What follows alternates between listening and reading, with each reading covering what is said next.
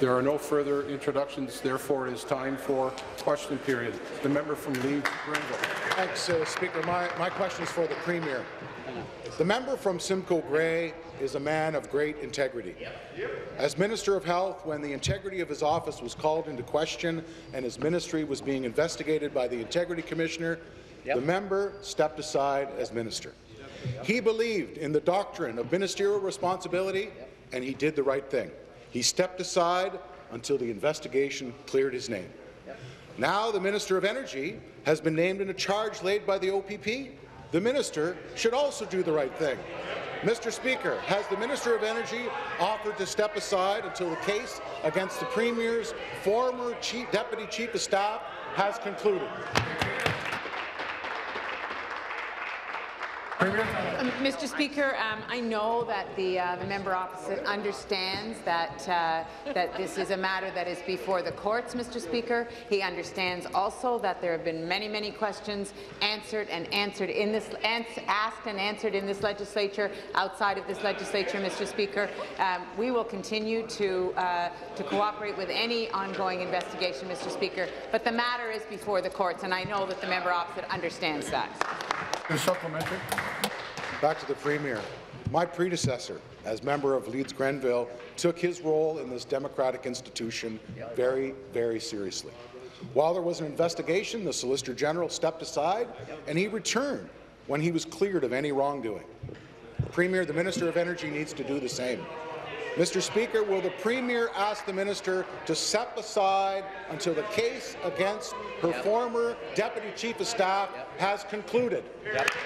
Attorney General.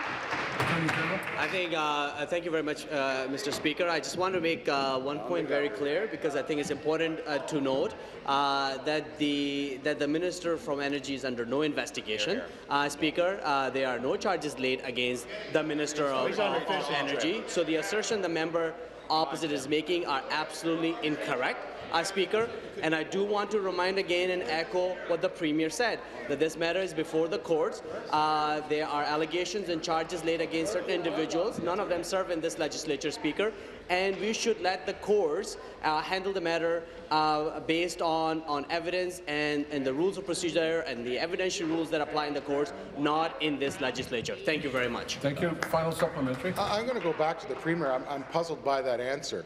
When the integrity of a minister or their office are called into question, the minister has a responsibility to step aside until the investigation is complete. When the member for Eglinton Lawrence was criticized by the Auditor General for a scandal in his ministry, the member stepped aside.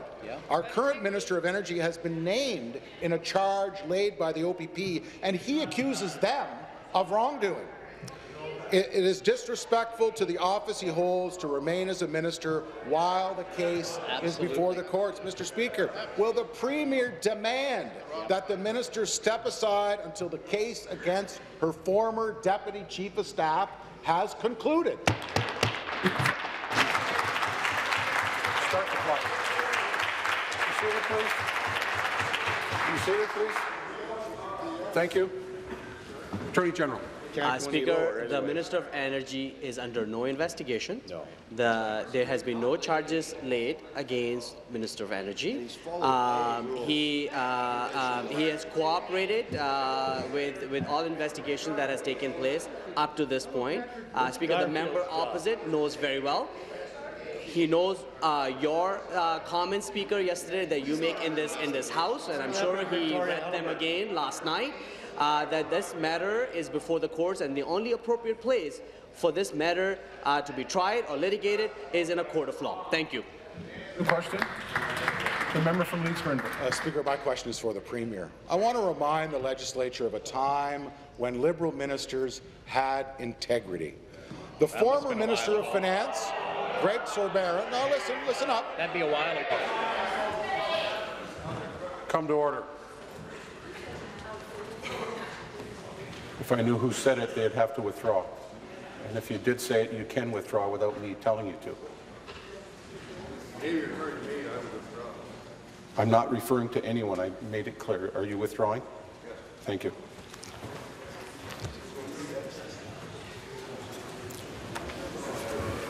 Carry on. Minister of Finance Greg Sorbara resigned from his office when he became aware aware of a search warrant alleging he was the subject of an RCMP investigation. His name was simply in a search warrant and he stepped aside until his name was cleared. Now we have a top Liberal aide being accused of bribing a minister of the Crown, and the minister still holds office. Mr. Speaker, this is incredibly inappropriate. Why does the Premier refuse to have the minister step aside until the case against her former Deputy Chief of Staff has concluded?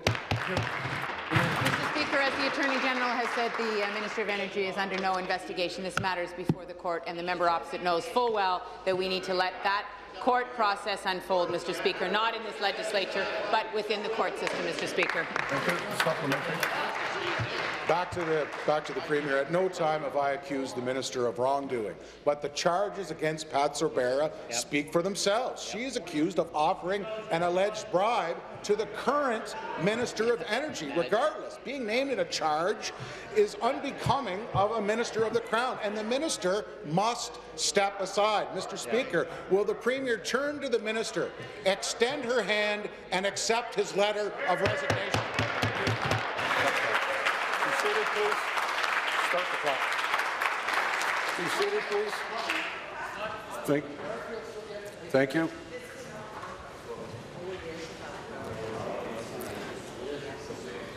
Thank you. Premier. General. Well, uh, Mr. Speaker, appreciate the theatrics on the other other side from the member opposite. Uh, let's be absolutely clear, Speaker. Uh, the Minister of Energy is under no investigation whatsoever. Uh, charges have been laid against uh, two individuals, which do not serve in this legislature.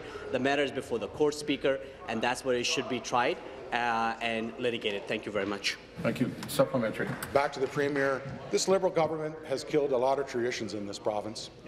But it's sad to say they've killed tr tr the tradition, actually no, the duty of ministerial responsibility. There used to be a time when ministers took their integrity seriously and believed they had to have the trust of the province. But that no longer exists in Liberal Ontario. Mr. Speaker, one last time, I implore the Premier, please, Premier, do the right thing. Will you stand up, Premier, walk over to the minister's desk and ask him to resign? Be seated, please. Be seated, please. Thank you. Attorney General. Speaker, uh, once again, um, the minister is under no investigation. The allegations in questions that are now before the courts has nothing to do with minister's responsibility as the minister of energy either. So, Speaker, there is no nexus. There is no connection. Uh, this is a totally separate matter. Uh, that does not uh, involve the minister and his responsibilities as the Minister of Energy. The most appropriate place for this matter to be dealt with is in the court of law. It is for a reason. It's stated uh, the rule is stated in our standing order rules. Speaker, you uh, referred to it very clearly yesterday, and I ask the member opposite and all honourable members of this House to respect the rules that are laid out in our standing orders and let this matter be dealt with in the court of law. Thank you. Two. New question. The member from Bramalea Gore, Malton. Thank you very much, Mr. Speaker. My question is to the Premier. There is very clearly an allegation of bribery uh, against Ms. Sorbara. The allegation of bribery also includes uh, a second allegation that is inferred. When you, when you allege to bribe someone, there's Chief also a potential of someone accepting that bribery. That's another allegation, a potential allegation. During this investigation, it's before the courts, absolutely. The honourable thing to do in this circumstance is to have the minister step down while this investigation is going on. He's connected in some way. So why hasn't the premier yet accepted the resignation of the minister of energy? Why not? Attorney General. Well, again, uh, Mr. Speaker, I will say to the member opposite, he used the word allegations perhaps three or four times, and he's right. These are just allegations. And the only place for those allegations to be proven right or wrong, Speaker, is in a court of law, not in this legislature. There's a long-standing rule that relates to uh, matters not be litigated in this House uh, if they're before a court or a tribunal. The member opposite is a, is a learned counsel. I know his, his rules well. He's been a defense counsel. He understands the, the notion uh, and the important principle of presumption of innocence. I only ask him to respect those, Speaker. Thank you. Supplementary. Thank you very much, Mr. Pre- Mr. Speaker. I think the government doesn't understand what's going on here. This is not a matter of litigating the case. No one's trying to litigate the case here. And uh, if, you're, if you have that belief, you're clearly mistaken. This is a matter of integrity. The people of Ontario deserve a government with integrity. They deserve a premier that puts the interests of the people of this province ahead of her party, of her friends, of protecting people in, in, in cabinet positions. Given the very serious natures of the allegations, and yes, they are allegations, but they are very serious. Given the serious nature of these allegations, there is a responsibility for the Premier to do something. Does the Premier think it's appropriate for the Minister to continue in Cabinet while these allegations are ongoing? Mr. Speaker, absolutely, the matter is serious. Therefore, the matter is uh, shall not be dealt Barrie. with in a in a partisan environment like the question period, Speaker. That's why that, that particular rules ex exist. These are these are allegations. These are that, that have to be dealt in front of a impartial uh, judge, Speaker. That is why we've got the independence between the between the judiciary, uh, the executive, and our legislative arm, Speaker. We should all respect those very important divisions of powers, uh, Mr. Speaker, and we should not be uh, litigating allegations, uh, conjectures, speculations, and theories in this House. I urge members opposite again, Speaker, that we should let this matter to be dealt with in the court of law. Thank you. Thank you. Final supplementary. Speaker, I urge the government to review this question, these questions in Hansard. There's no litigation of the offence here. I'm not litigating the offence. I'm simply saying the people of this province deserve a government with integrity. When you have allegations that involve a cabinet minister, there are certain responsibilities that this government must act on. It's very clear that this has never happened in the history of this province ever before, where we have a cabinet minister that is involved in allegations. The allegations involve his name, involve a bribe of the minister of this crown. It's very clear. The allegations are absolutely clear. So why will a minister not step down and prove to Ontarians that they're capable of putting aside their blind partisanship, that they're capable of putting the interests of the people of this province ahead of their own party's interests. Question. Why can't they do the honourable thing? Be seated, please. Be seated, please.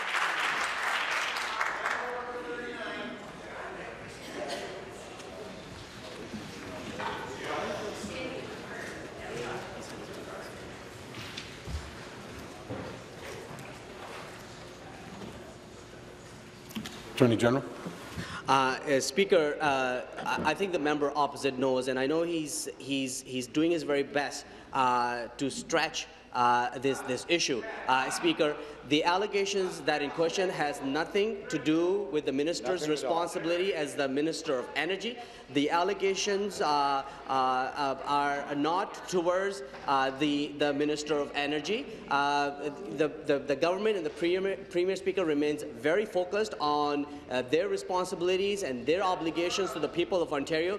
This is a matter that is before the court speaker, and the member opposite knows very well that it should be litigated before the courts, not in this legislature. Thank you. Thank you. New question. Member from Brandon Golden. Thank you, Mr. Speaker. My question again is to the Premier. Mr. Speaker, I think the government needs to get new speaking notes. No one is talking about litigating this case. We're asking a very clear thing here. During the last provincial election, this Premier promised Ontarians, she promised Ontarians that she would be different. She promised the people that this, under her leadership, that they, this party would not be Minister of the Environment, come to order. like her predecessors was. Yet again, the people of this province are disappointed. Will the Premier put aside her blind partisanship, put aside her blind partisanship in terms of protecting her party and protect the people's interests, put aside her blind partisanship and support the needs of the people of this province and ask the Minister of Energy to simply step aside during this very serious allegation? Question. Thank you. Kermit. Thank you very much, Mr. Speaker. Um, you know, the, uh, the member opposite is, uh, is asking us to focus on, uh, on the people of Ontario. And I just want to say, Mr. Speaker, that every morning when I get up and every morning when we begin our work here, we are focusing on the people of Ontario. We're focusing on the young people in our schools. We're focusing on the seniors who need support in hospitals, Mr. Speaker, and in their homes. We're focusing on the needs of our municipalities to have infrastructure, Mr. Speaker. All of that is the work that we are. All the member from Renfrew, Nipissing, Pembroke, come to order.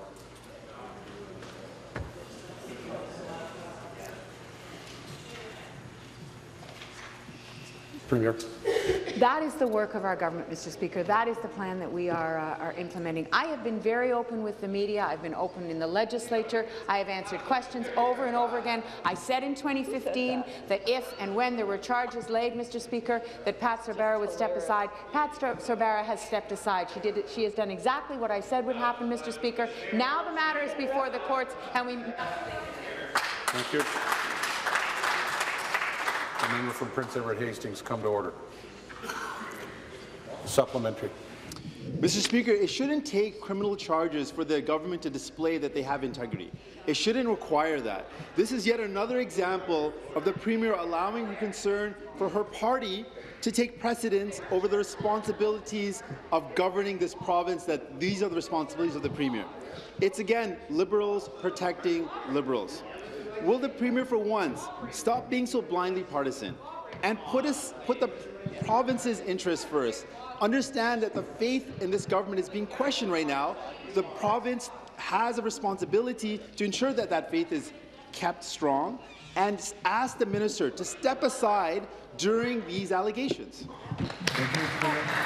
Mr. Speaker, I'm not a lawyer, but the member opposite is a lawyer, so he knows we're not talking about criminal charges, Mr. Speaker. Even though he uses that language, I assume intentionally. I can't, uh, I can't second guess that, but I assume he uses that intentionally. But these are not criminal charges we're talking about. I said in 2015 that if and when charges were laid, that uh, Pat Sorbara would step aside. She has stepped aside, Mr. Speaker. She has done that, and our responsibility, all of us, is to understand that under a presumption of innocence, that matter is now before the courts. I would expect of all of the members in the NDP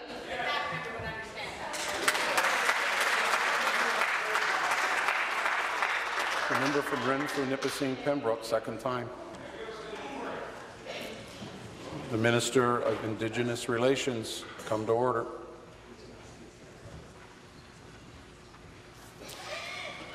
Supplementary. Mr. Speaker, did the Premier learn nothing from waiting so long to dismiss her top aide over this scandal? She said over and over in this assembly that she stood by Ms. Sorbara and that Ms. Sorbara had done nothing wrong. Yet here we are, two days after Ms. Sorbara was charged by the OPP, and the Premier is making the same mistake again. She has an opportunity to do the right thing. There are allegations, absolutely there are allegations, and the minister is entitled to, and everyone involved in this is entitled to the presumption of innocence. But there's a certain perception here. There's a perception that there is an allegation involving the minister. There's a bribery allegation of that minister. That minister has a responsibility to step aside during this investigation. It's the right thing to do. So, will the, the premier do the right thing and ask her Minister of Energy to step aside until, uh, until this matter is dealt with. Attorney General. Be seated, please. Be seated, please. Thank you. Attorney General. clear in terms of the actions she's taken. Uh, when uh, Ms. Sorbara uh, was uh, was charged under the uh, Elections Act uh, offences, the, she no longer, Premier took the step of ensuring that she no longer works for the Ontario Liberal Party Speaker. Um, in this matter, there are no allegations uh, that relates to the Minister of Energy. There are no allegations that relates to his responsibility uh, as the Minister of Energy, Speaker. Uh, they, uh, they, these are allegations that are very uh, uh, separate and aside from the business of this House, Speaker. And uh, the only appropriate uh, venue, the only right place for that matter to be uh, dealt with, Speaker, is in the court of law. I know the member opposite knows, and I respect all members to respect that very important principle here, here. in our legislative democracy. Thank you. Here, here. Thank you. New question. The member from Nipissing. Thank you and good morning, uh, Speaker. My question is to the Minister of Finance. We also know there's a trust deficit in the government. Now we know there's a financial deficit as well. This morning, the Financial Accountability Officer confirmed what our PC caucus has been saying all along. The government has a multi-billion dollar hole in their budget forecast. He confirmed the government is using one-time money from the sale of assets to artificially balance the budget in an election year. But the FAO expects a $2.6 billion deficit that year when the minister told Ontarians they'd balance. The FAO also told us the only way they are going to balance after that is to raise taxes again or cut services further. Question. Through you, I ask the minister, are they raising taxes again, or can we expect more cuts to frontline services? Minister of Finance. Thank you, Mr. Speaker. I, would like to thank uh, the FAO for his report. I hope he recovers soon. As we all know, he's on medical leave. Um, but let me start by saying yet again that we're committed to balancing the budget by 2017-18 and again the year after that, Mr. Speaker. We're doing so by controlling our spending, by stimulating economic growth through some of the strategic investments that we make. The FAO himself has stated Ontario's economy posted strong real GDP growth It's very difficult to uh, move forward when members uh, on the same side as the answer being put are engaged in heckling back and forth. So let's just stop it, please. They don't want to hear what exactly has happened. What has happened is that we've beaten our target seven years in a row, Mr. Speaker. What has happened is because of our strategic investments, we have outpaced G7, the United States, every other country and jurisdiction as well, Mr. Speaker. By so doing, we're lowering unemployment and growing our economy. Supplementary. Back to the minister. Well, the numbers are wrong. We've been telling this government the numbers are wrong, and now the FAO confirmed that today. The FAO said, quote, growth in business investment has been disappointing over the last four years. Well, that's no wonder, Speaker. Minister of Tourism, Culture and has Sport, raised taxes by more than 20 percent in the last five years. The FAO also confirmed that debt levels will continue to skyrocket another $64 billion to a record $370 billion. Under this government, Ontario is now both the most indebted yet the most taxed province in Canada. It's clear their repeated pattern of waste, mismanagement and scandal has come home to roost, Speaker.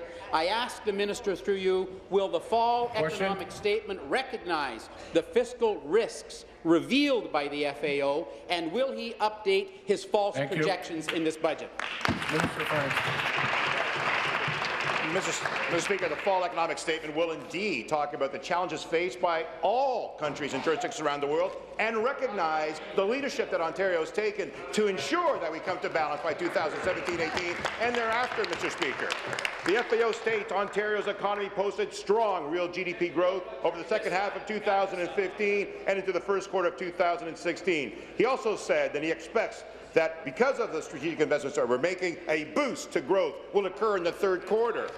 Mr. Speaker, what has actually happened?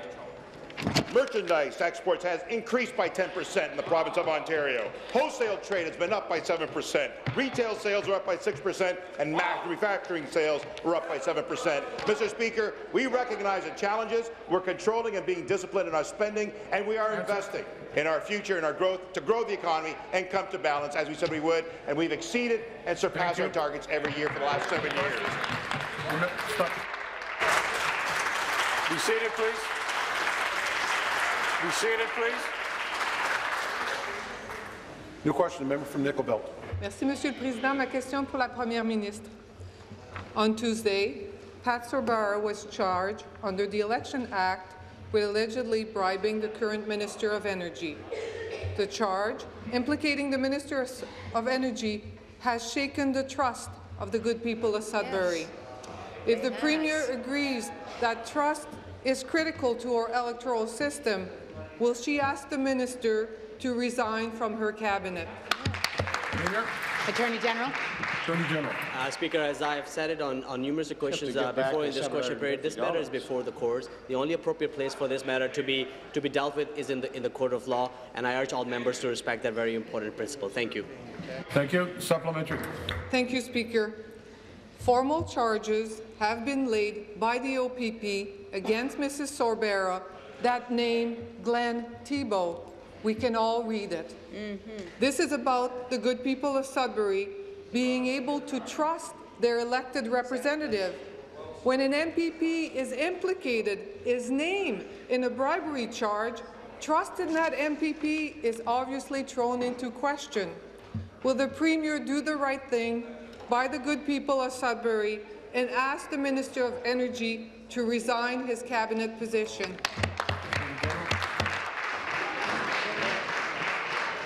Mr. Speaker, the, the, the, the Minister of, Energy, the member from Sudbury, is an honorable man. He has, in his entire life, have served his community. Uh, he served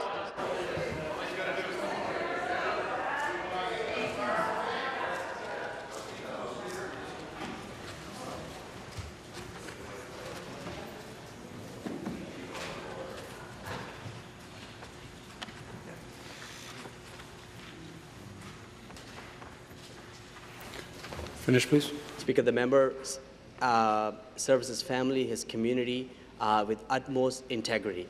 These allegations uh, has nothing to do, uh, Speaker, with, uh, with the member and his responsibilities as the Minister of Energy. Uh, Speaker, as I've said it before, this matter is before the courts, and the only appropriate place for it to be to be tried is in the court of law. Thank you. Thank you. New question. The member from Ottawa South. Speaker, uh, Speaker, my question is for the Minister of Transportation. Despite the uh, recent warm weather we've seen over the last few days, winter is coming, and that means we are quickly approaching shorter days and more hours of darkness. Speaker, safety in our roads is always a priority, but it's clear that when there's more hours of darkness, we need to take more care on our roads. We know that certain road users, specifically cyclists and pedestrians, are at a higher risk on our roads. And Mr. Speaker, in my riding of Ottawa South, there just learned there was a cyclist struck this morning, and so every few days I hear of a pedestrian or a cyclist being struck, and it's a, a great concern, I know, to all members of this House, road safety for those people they represent. So, Mr. Speaker, I'm particularly interested to hear about what the government is doing with pedestrians in mind. So, could the minister please inform this House what we are doing in this regard? Thank you. Thank you. Minister of Transportation. Thanks very much. Uh, thanks very much, Speaker. I want to begin, of course, by thanking the member from Ottawa South for the question and for his advocacy on this issue.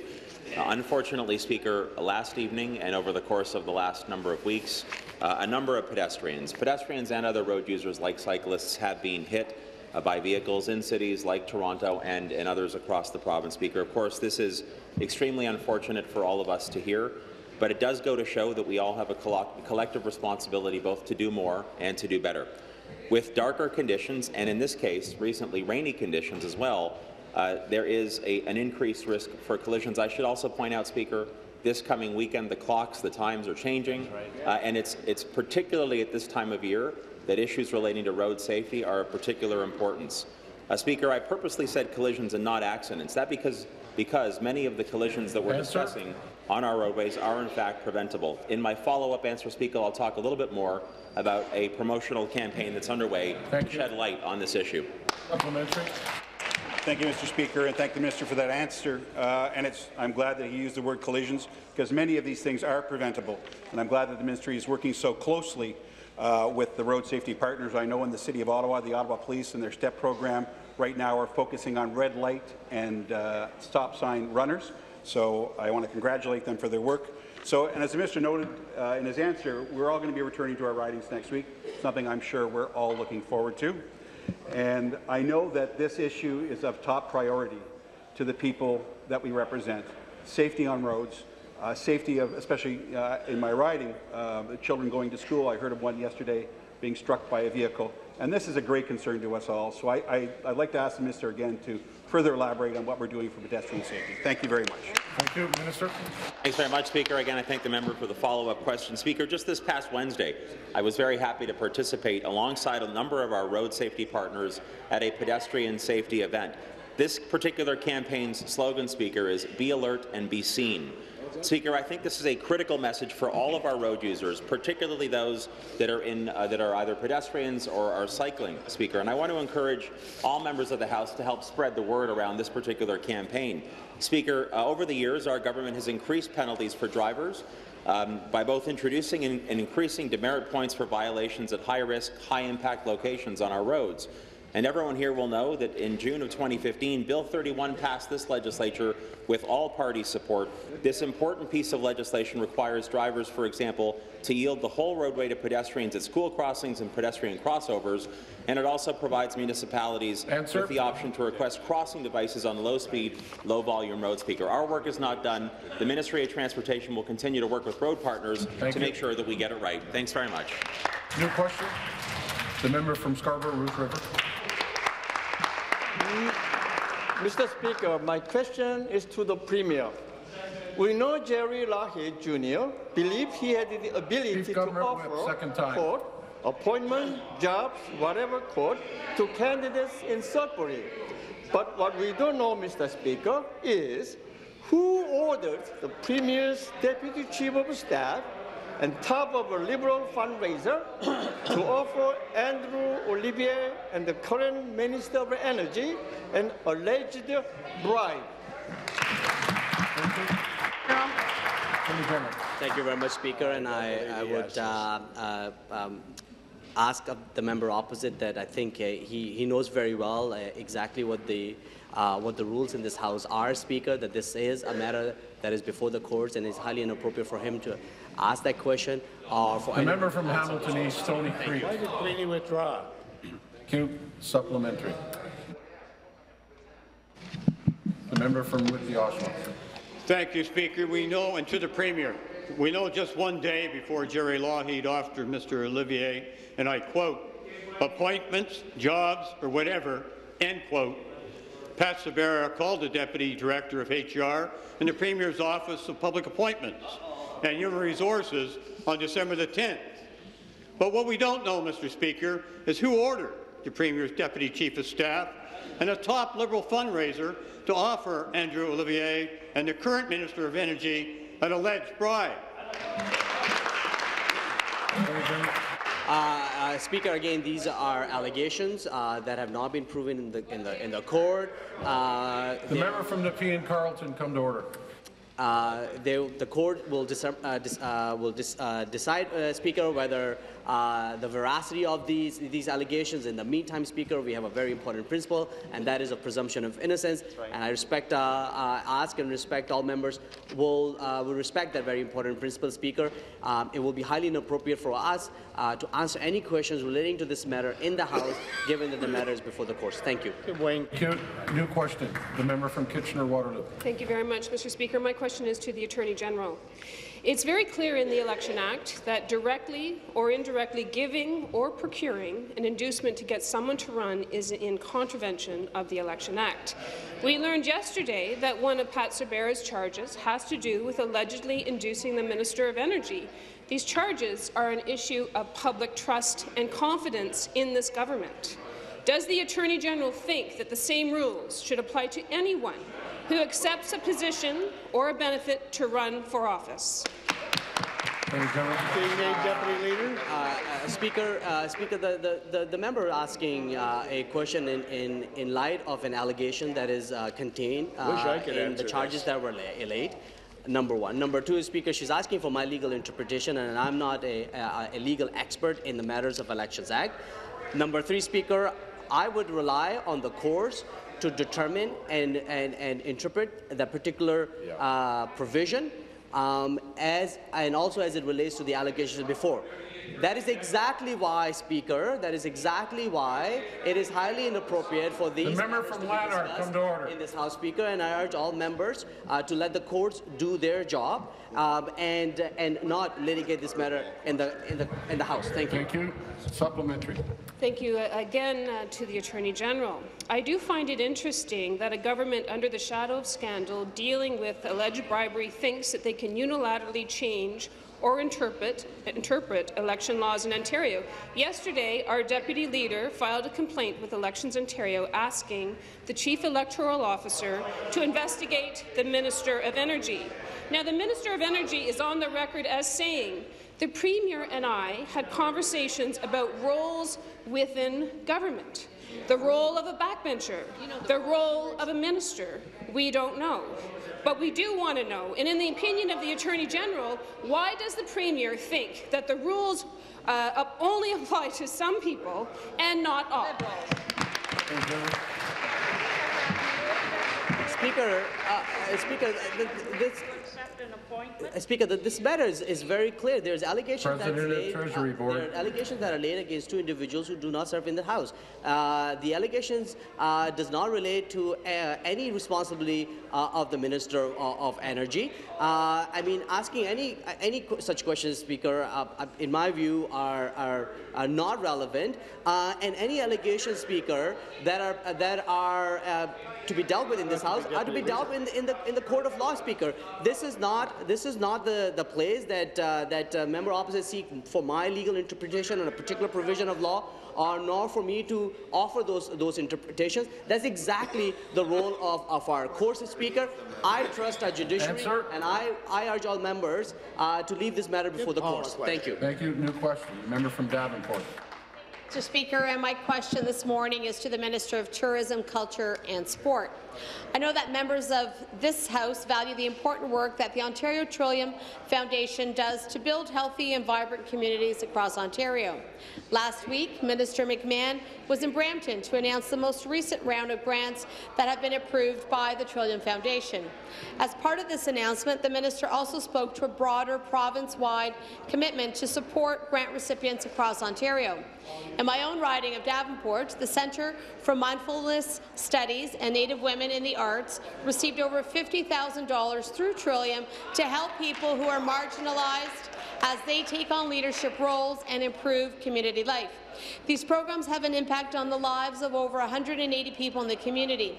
Mr. Speaker, through you, can the minister please inform this House about this most recent round of grants Question. and the important impact that this round of Trillium Foundation grants will have? Minister of Tourism, Culture and Sport. Thank you, Speaker. I'm pleased to rise and answer the members' questions about the Ontario Trillium Foundation, and I want to thank her, Speaker, for the important work, advocacy work that she does in her community on behalf of the non-for-profit sector. Hear, hear. So important. I greatly value the important work that Trillium does, Speaker, right across our province. It's important that we acknowledge it and that our government remains supportive of the Trillium Foundation. It is one of Canada's leading charitable grant-making foundation and helps us build strong and healthy communities. I was pleased to visit the Multicultural Community Centre in Brampton last week to announced that the Trillium Foundation will be investing $31.6 million wow. through 152 here, here. grants right across Ontario, Speaker, here, bringing positive change to the people of Brampton, the members riding as well, and nearly 500,000 Ontarians in every corner of our province.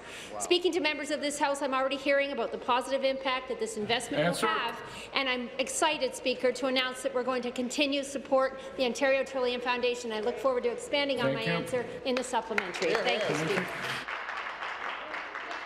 I want to thank the minister for, for this, and it is fantastic to hear how wide-reaching and helpful the Trillium Foundation has been to my community of Davenport and to communities all across this province. I also want to acknowledge the importance of the hundreds of dedicated and knowledgeable volunteers who make up grant review teams across the province. Each year, more than 3,000 applications are reviewed by grant review teams who act as local eyes and ears for the Trillium Foundation. They play a vital role in our province's not-for-profit sector.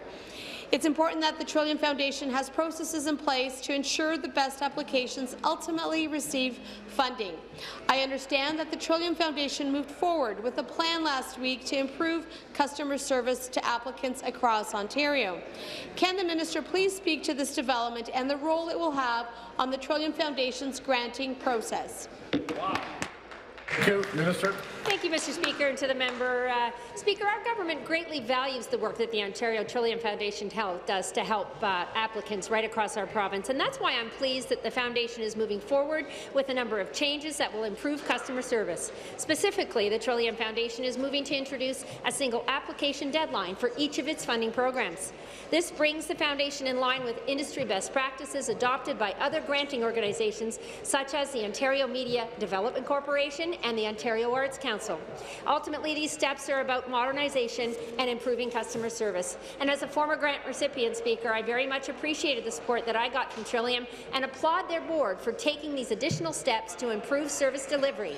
As we move forward toward our, toward our province's 150th anniversary, I look forward to working with Trillium to support communities Answer. across Ontario and to continuing to make a difference in the lives of all Ontarians. Thank, Thank you, you. Mr. Speaker. Uh, thank you, Speaker. My uh, question is to the Premier.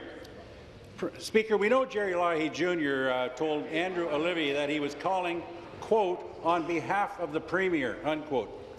But what we don't know, Mr. Speaker, is who ordered the Premier's Deputy Chief of Staff and a top Liberal fundraiser to offer Andrew Olivier and the current Minister of Energy an alleged bribe.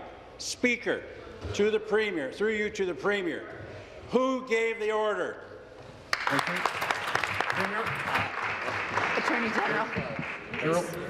Uh, uh, Speaker, you know th this question has been asked uh, many times, and just because it's been asked in a in a in a in a repeated manner does not mean that the answer changes, Speaker. The Premier has been has been very open and transparent, uh, Speaker, to Ontarians, uh, to the media, to this legislature, and has many questions. Now we are a stage, Speaker, as you are well aware, and the members uh, members uh, in this House are well aware, that there are charges being laid, and it will be highly inappropriate for this matter to be dealt with in this House, Speaker. It will be highly inappropriate to answer any questions uh, in this House as it relates to the allegations, Speaker. The only appropriate place is in a court of law, and I ask all members to respect that very important principle. Thank you. Thank you. Supplementary. The member from Thornhill. Thank you, Mr. Speaker. My question is to the Premier. We know that Pat Sorbara told Andrew Olivier, and I quote, so you're being asked to make the sacrifice this time, and that also can go a long way in terms of opening up options, like in terms of being part of a party, right? End of quote. But what we don't know, Mr. Speaker, is who ordered the Premier's Deputy Chief of Staff and a top Liberal fundraiser to offer Andrew Olivier and the current Minister of Energy an alleged bribe. Again, Speaker, you can tell by the nature of questions, they are, these are uh, questions as it relates directly to the allegations that are before the court, Speaker. As I've stated earlier, it will be highly inappropriate uh, to, uh, to answer any questions uh, on an issue that is uh, before the court, Speaker, and I would urge all members uh, to respect uh, a very important rule that is outlined in our standing orders, the rule around sub judice, uh, which, uh, which uh, instructs us, Speaker, uh, not to, to debate issues, not to discuss issues uh, that are before any court or tribunal. This, this matter fairly and clearly, uh, Speaker, uh, falls in under that rule. So I uh, ask all members, Speaker, to respect uh, your words yesterday, uh, and, uh, and uh, uh, uh, we would not be answering any questions that are before the court. Thank you. Thank you. New question. The member from Toronto Danforth. Thank you, Speaker. My question to the Minister of Energy. Given his role in the Premier's cabinet as Minister of Energy and recent news about being named in an alleged scandal, Ontarians have questions about whether or not he will be able to perform his job duties as a cabinet minister. Ontarians want to know, has the minister offered his resignation to the Premier? Premier. No, to the, it was to the Minister. Um, thank you, Mr. Speaker. I'm very pleased to rise and uh, speak to this. Uh, um, thank you, Mr. Speaker.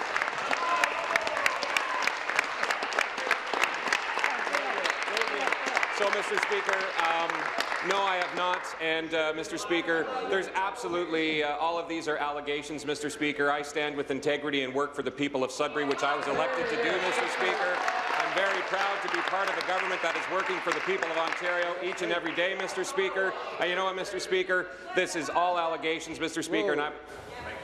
The member from the P and Carleton withdraw.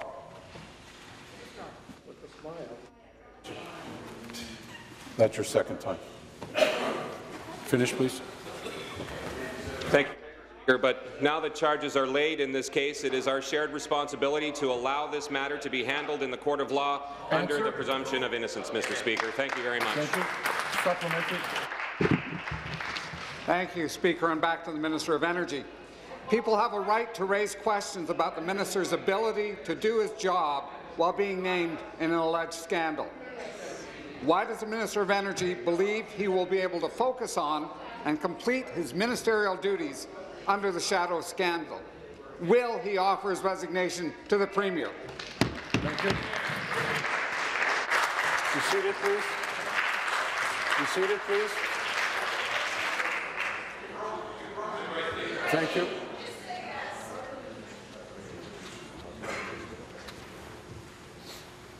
Thank you. Minister of Energy. Minister Attorney General.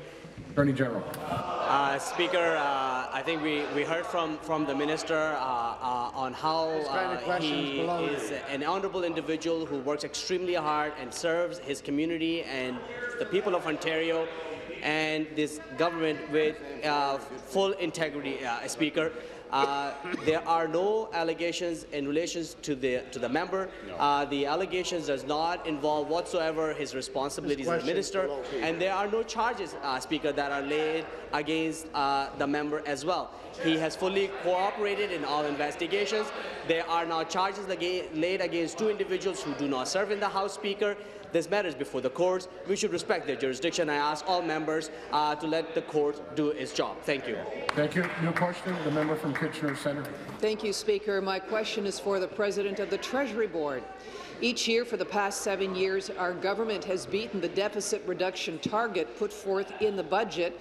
This past year was no different. The province of Ontario beat its deficit target by $3.5 billion.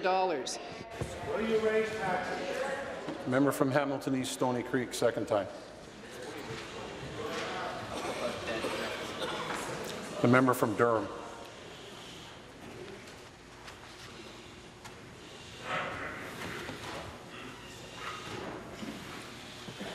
Finish, please. Uh, thank you, Speaker. I know that Ontario is tra on track to balancing the budget for 2017-2018. That'll please the heckling member to hear that.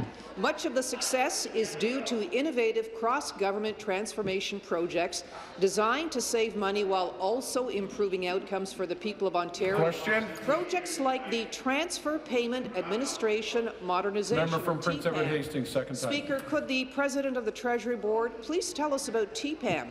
Tell us how this Thank project you. is helping the government. President Treasury Board. Yes, thank you, Speaker, and thank you to the member for Kitchener Centre for her advocacy on government modernisation. The Transfer Payment Moder Ad Administration Modernisation Project, or TPAM for short, is intended to streamline and modernise the government's approach to the management of transfer payments. Ontario makes transfer payments to more than 18,000 different organizations, to hospitals, school boards, municipalities, nonprofits, and many more. Approximately 82% of all government expenditures are transfer payments, funds which are actually flowed through more than 20,000 different legal agreements and supported by 20 different IT applications. Treasury Board's TPAM project will reduce administrative burden Answer. for both government and transfer payment recipients while improving our ability to make evidence-based funding decisions. Thank you. Supplementary.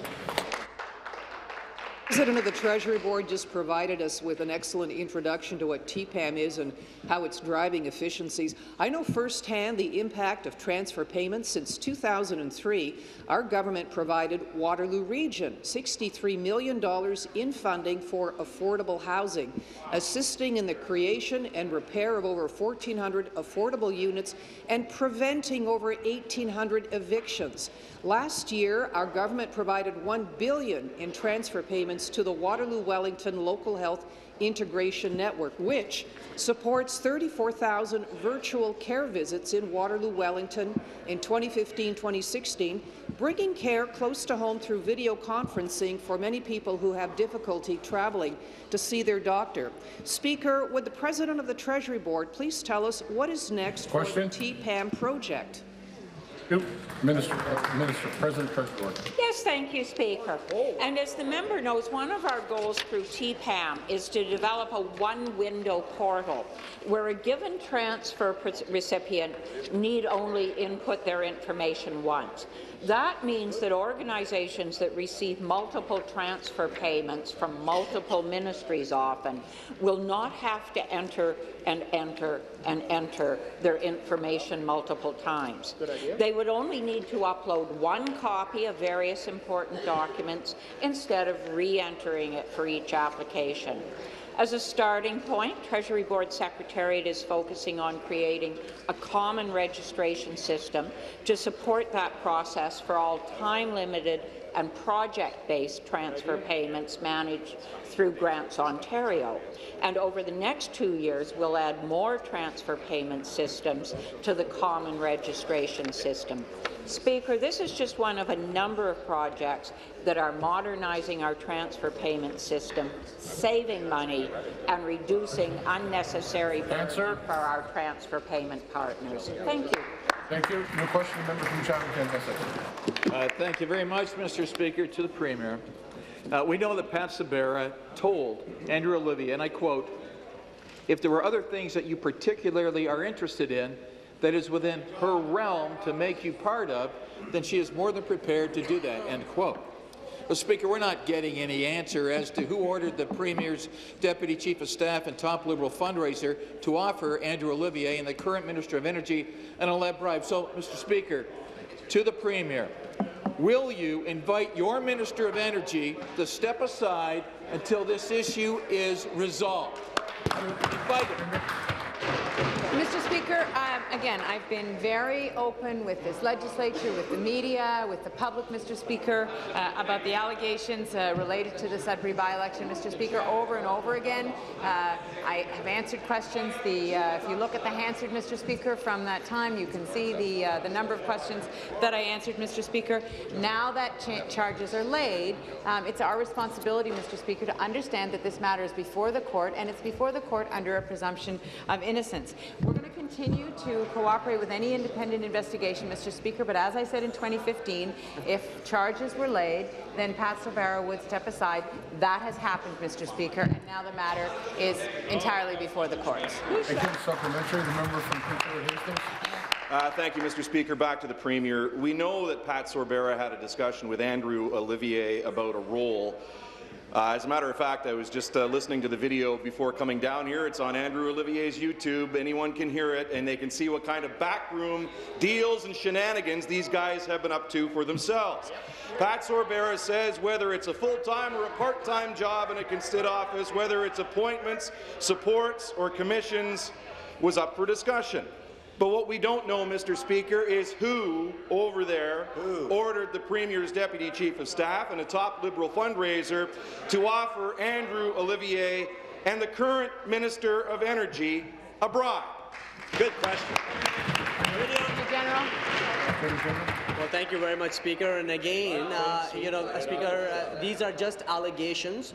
They have not been proven in, in, in the courts. Uh, the fact uh, that there are charges laid means that this matter has to be tried uh, before uh, a court, not in the legislature, Speaker. Not to mention, Speaker, I know the members opposite and all members of this House, as all Ontarians and Canadians, understand and respect uh, the principle of presumption of innocence. Uh, Speaker, in our system, everybody is presumed innocent until they're proven guilty. And in this matter, Speaker, uh, the people who have been charged uh, have not been, been found guilty. And, and, and we owe it to them that, uh, that we let this matter to be dealt with in a court of law in a neutral, impartial uh, sphere, Speaker. Uh, that is how our system is designed for very good Answer. reason, Speaker. That is why we have separation uh, between our executive branch, our legislative branch, and, and uh, uh, Speaker, Thank you. and we should respect that. Thank you.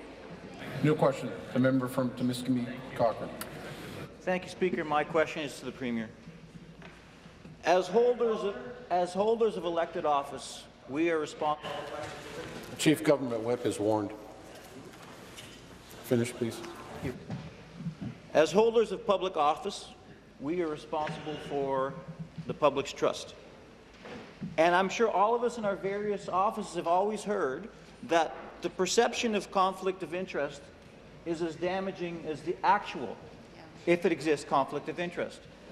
In this case, the perception of wrongdoing is as, is as damaging to the actual public interest as if wrongdoing occurred. And we don't know if wrongdoing has occurred. And that is for the courts to decide. But Order. for the public trust, it has also been the tradition, if there is a question of wrongdoing, for a person who holds public office to step aside while Question. that investigation is conducted. And as a minister of the Crown, it is inherent to do that. I, my question to the Premier is why haven't you Thank you. directed that to happen? Be seated, please. Be it, please.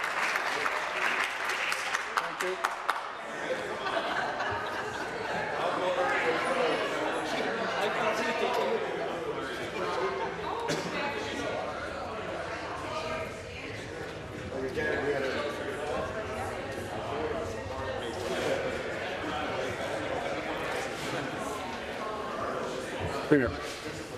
Attorney General. Attorney General. Well, uh, thank you, Speaker, and I again thank the member opposite, who I have a lot of respect for, for the question. And I, I, I, I was listening very carefully to his, his, his question, and I would say to him, Speaker, that there is no conflict of interest here. There is no actual or perceived conflict of interest. The allegations, Speaker, do not deal with anything that is the responsibility of the minister as the Minister of Energy. Uh, the allegations, Speaker, are not towards him. Uh, Speaker, the minister uh, is not being charged with anything, Speaker. So there is no conflict of interest, actual or perceived whatsoever, Speaker. Allegations against two individuals who do not sit in this House, Speaker. Those Member from allegations Hamilton are Mountain. before the Court of Law, Speaker.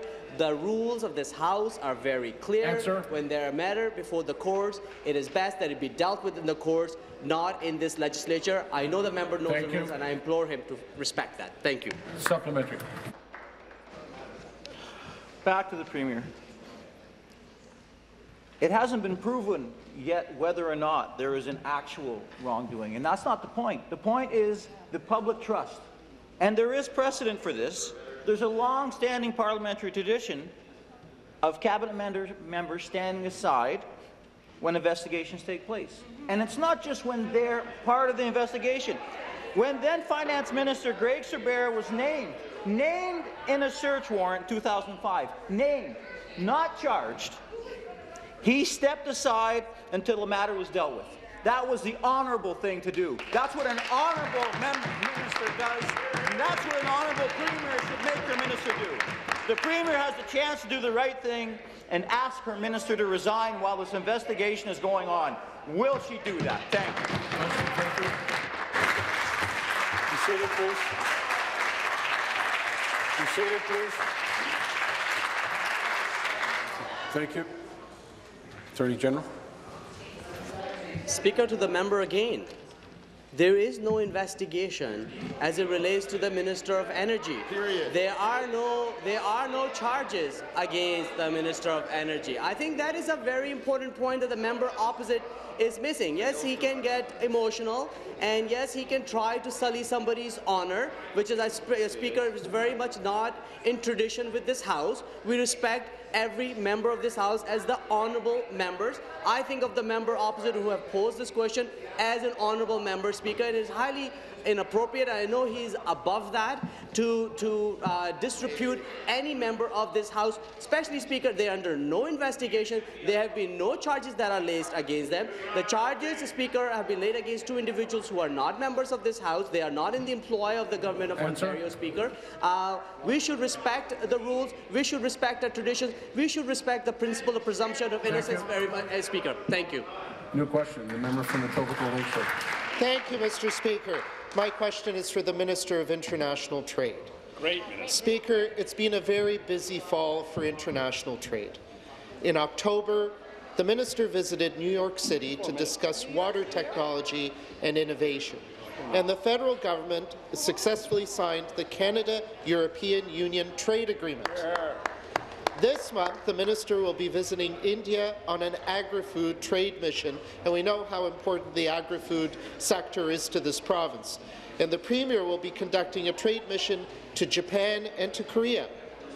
I know that Ontario is going to see a lot of economic growth and job creation from these missions. Hear, hear. In particular, I was proud to hear of the work the minister did in October in China to assist a phenomenal agency, Tourism Toronto.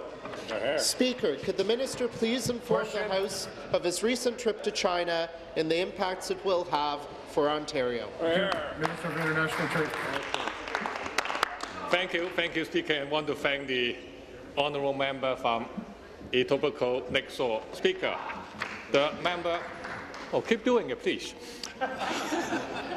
the member is correct in uh, the assessment of Tourism Toronto.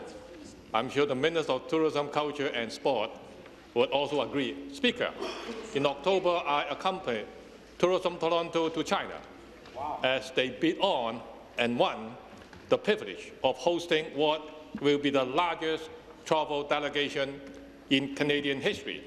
Speaker, Speaker, 6,000 6,000 of Nu Skin's most elite salespeople will visit Toronto in 2018. The delegation is expected to generate over 8 million in tourist spending during their visit.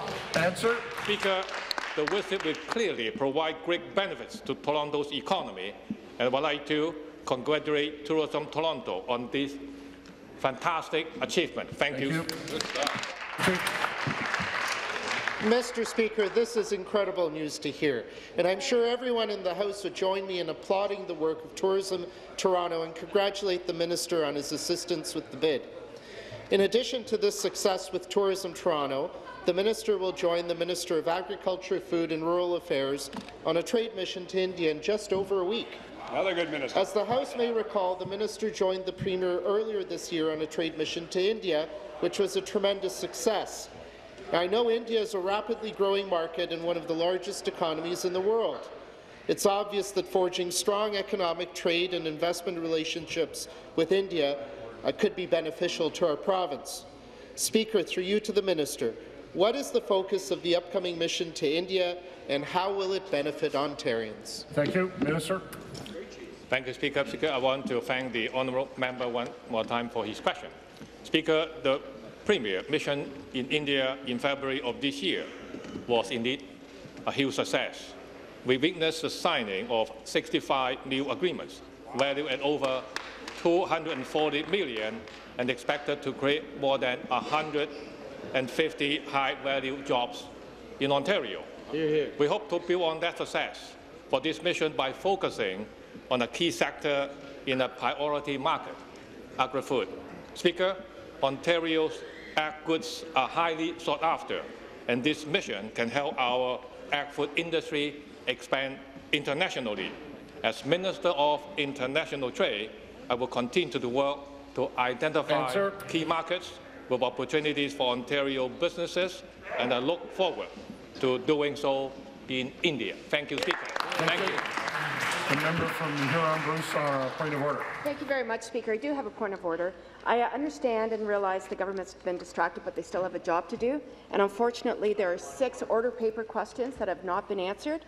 Three from the Ministry of Environment and Climate Change, one from the Ministry of Education, one from the Ministry of Labour, and one from the Ministry of Energy. I would appreciate those answers. Thank you. Although the preamble wasn't uh, appreciated, that is a point of order, and you are allowed to ask that question. I would turn to the government House Leader for a response. Uh, Speaker, uh, we will uh, we will pursue this and make sure that they are tabled in a timely manner. Thank you. Thank you. Member from Ottawa South on a I'd like to, thank you, Mr. Speaker. I'd like to correct my record. I think in introductions I said the Ontario Chiropractors Association. What I meant to say was the Ontario Chiropractic Association, and they are in room 228 right now. Thank you very Thank much, you. Mr. Speaker. Member from Durham on a point of order. to introduce a delegation from the African Unity 6 Region, Canada, led by Mr. Ahmed El Bashir. I would like to extend a very warm welcome to them at Queen's Park. Welcome. thank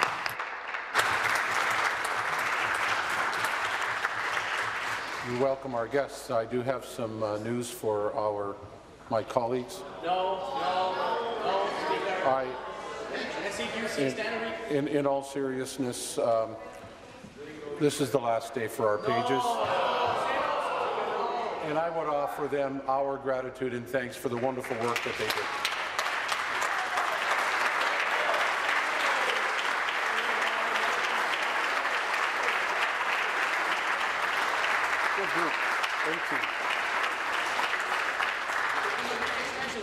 There are no, there are no deferred votes. This House stands recess until 1 p.m. this afternoon.